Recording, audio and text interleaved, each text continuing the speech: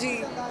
आप बहुत अलग अलग अंदाज में देखेंगे क्योंकि मेरी चार सीरीज़ आ रही है अमेजोन पे, दो हॉटस्टार पे और एक नेटफ्लिक्स पे। तो बहुत सारी वैरायटी ऑफ़ आकांक्षा देखने को मिलेगा। So I think now is the time for O T T and so now is our time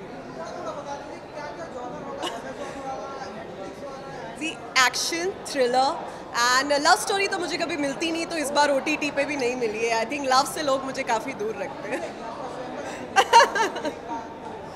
या